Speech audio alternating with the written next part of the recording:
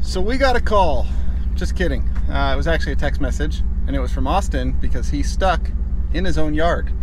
And if you're wondering how something like that can happen, I can explain it with just one word Austin.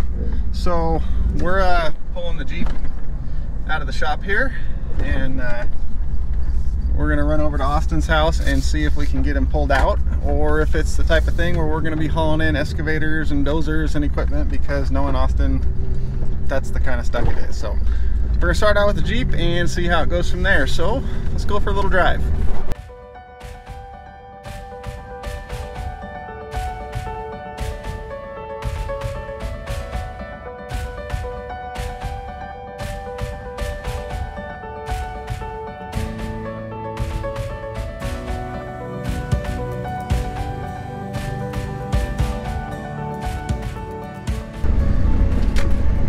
And we are here. As you can see, Austin only lives 20 seconds from me if you drive really, really fast. So, I know I was joking earlier saying only Austin would get stuck in his own yard, but the worst stuck I have ever been in my life was in my own driveway. So, we are here and we found Austin.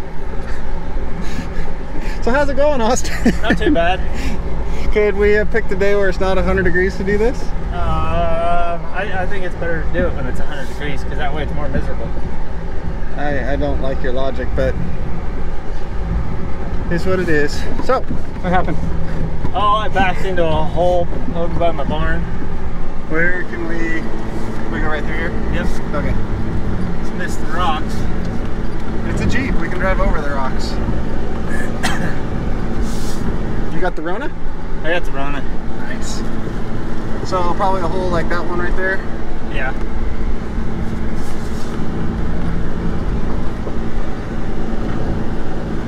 Won't look too bad. Let's go see what you did. Did I ever tell you about the worst stuck I've ever been in my life? Probably in your own driveway. In my own driveway? Yeah. We had to get two low beds to haul equipment in, take backhoes and Oh, dig yeah. all around it in the middle of the night. Yep. About one in the morning, we finally got it out, tore the hell out of the driveway, blew, out a, couple, blew out a couple tires. I've been stuck on flat ground more than I've been stuck elsewhere. Well, technically, this is not flat ground. It was until I backed into the hole. What are you digging a grave out here? Uh, it's a septic tank uh, Oh, test pit. test pit. Okay. Oh, just back, turn around. yeah. Is that, Around into the hole. is that tire off the ground? Oh, I'm sure it is.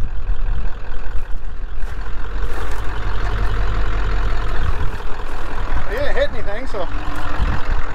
Shall we yank it out? Sure. All right. I'll get it turned around.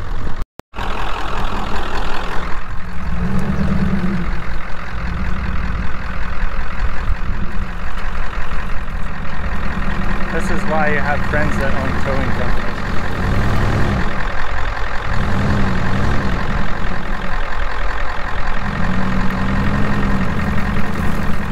That didn't work at all like I thought.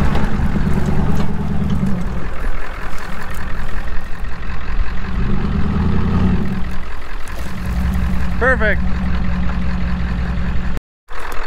So, this is actually perfect because everybody saw where Matt sent me this Matt's off-road recovery rope that I really, really like. And then the people at Yankum Ropes reached out to me and got me a red rope. Heck yeah. So now, Matches the Jeep. yeah, and even better, where the heck did it go? You get red soft shackles too? No, no, better than that. If I can find them. Gray soft shackles. Because my stuff is all red and gray. Red and gray. Red and gray. So, we will take, we don't need the recovery ring on this one.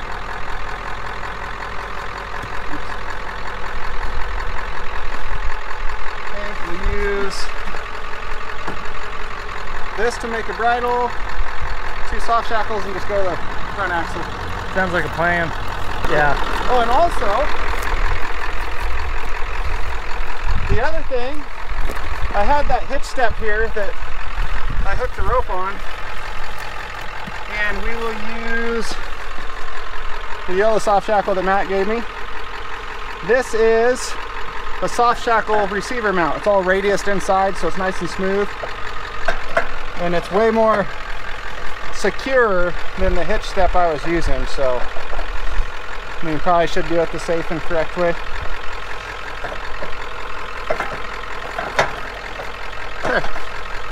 There. Shall uh, we pull on stuff? Yeah. You want me to record? I got a better idea. Let's put that on the tripod and then you can hold the other camera in the truck. Okay. Just gonna stay in neutral? Okay. He says he's just gonna stay in neutral because he wants to make it harder for me. You make me work for it? I'll make you work for it. Might even put the brakes on. Might even put the brakes on.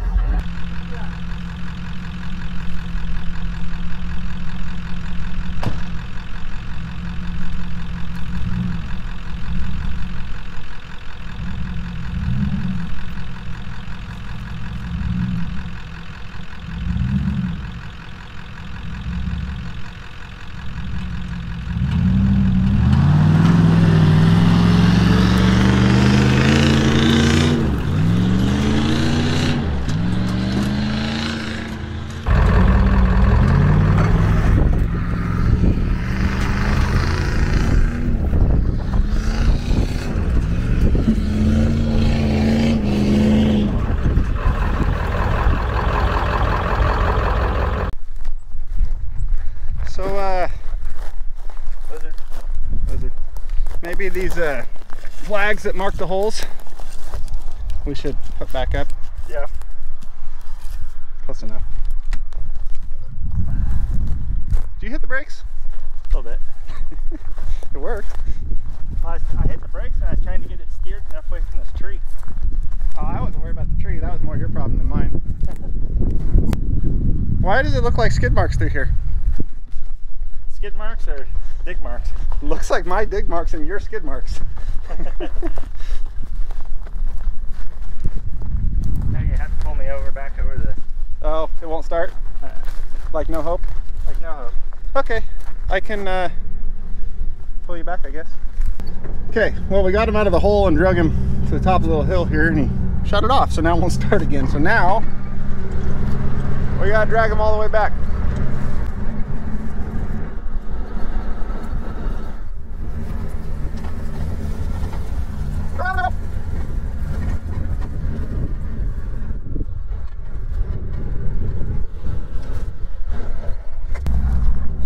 Where you want to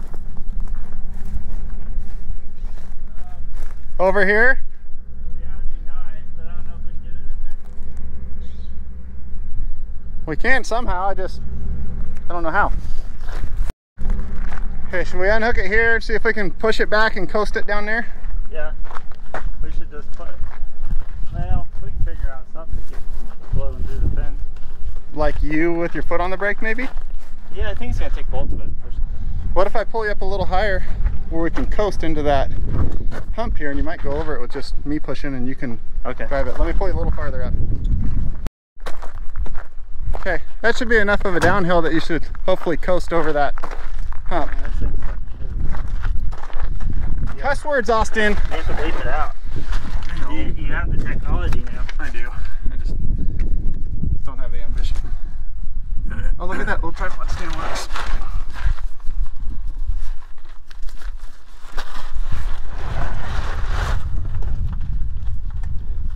Do like soft shackles. They make things really nice. Uh, yeah.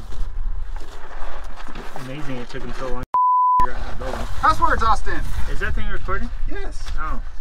I thought you turned it off. I never turn the camera off. Uh, should we try pushing it back? We can try. Okay, hop in. And I'll push and you ride.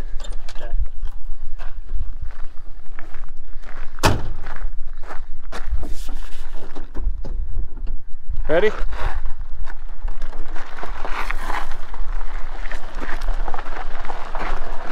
Go faster! I'm pushing on the gas. Thank you. Oh, come on. So close. Now what do we do with it? All right, we gave up and pulled out the winch. So what we have going on now is the winch going down to the generator trailer with the recovery ring. This is basically a snatch block for synthetic rope. The rope goes through this ring and as you can see, it uh, the ring just spins on here because there's no hardly any resistance in there. So that goes straight back to that D-ring on the back of the truck. You ready? Yeah. And then we'll pull the truck backwards off of this with the Jeep over there. Because everything else we tried didn't work. So now we winch. And remotes are awesome. Watch it just pull the trailer. That's staying. And you should never go near winch ropes when they're working, but I want to show you how this thing works.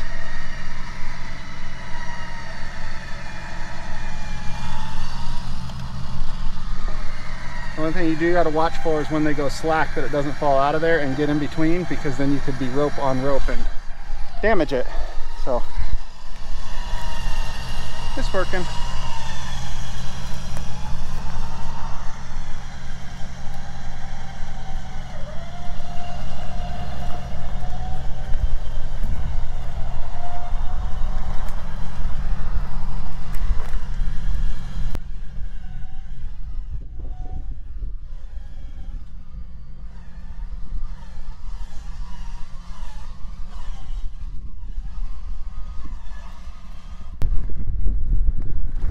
That good? Good enough for his floor. I agree with that.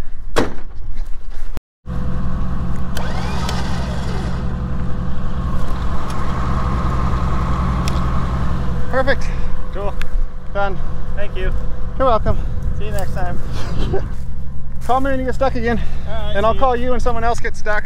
All right, see you later.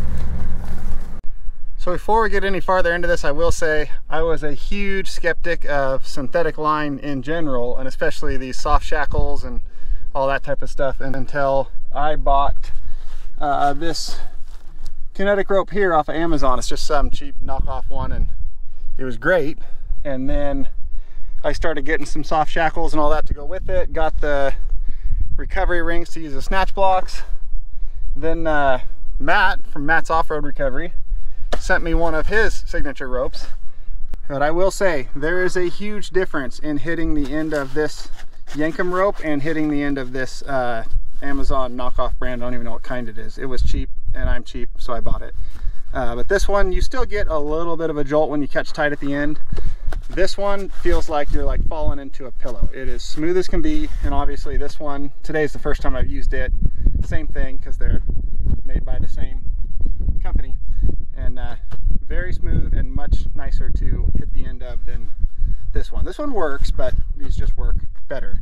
And like same with the shackles, like this here is a whole bag of shackles and snatch blocks basically that weighs like one or two pounds instead of each one weighing a few pounds. I bought cheap stuff at first.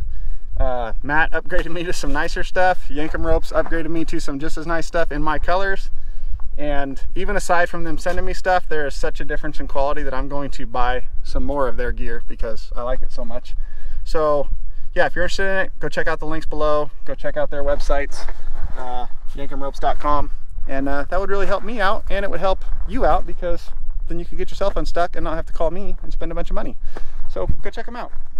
Oh, and if you're wondering if that was a sales pitch, absolutely it was. But it's a sales pitch of stuff I like and use and you're seeing it. So I definitely think it's worth it. Okay, I was leaving, but now we turned around and you can see we're going back because I forgot the other camera in that truck. So I kind of need that to make this whole video out of.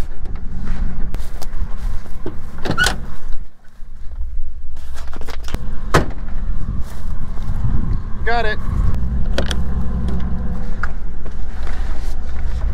Okay, now I'm leaving. After come over real quick, just pop a truck out of the sand, turned into two hours of messing around with the thing. But oh well, it's all part of the fun. So now I'm gonna head into town and uh, go pick up Riley, then go home and enjoy the evening. So that is it for this one. And we will see you guys next time.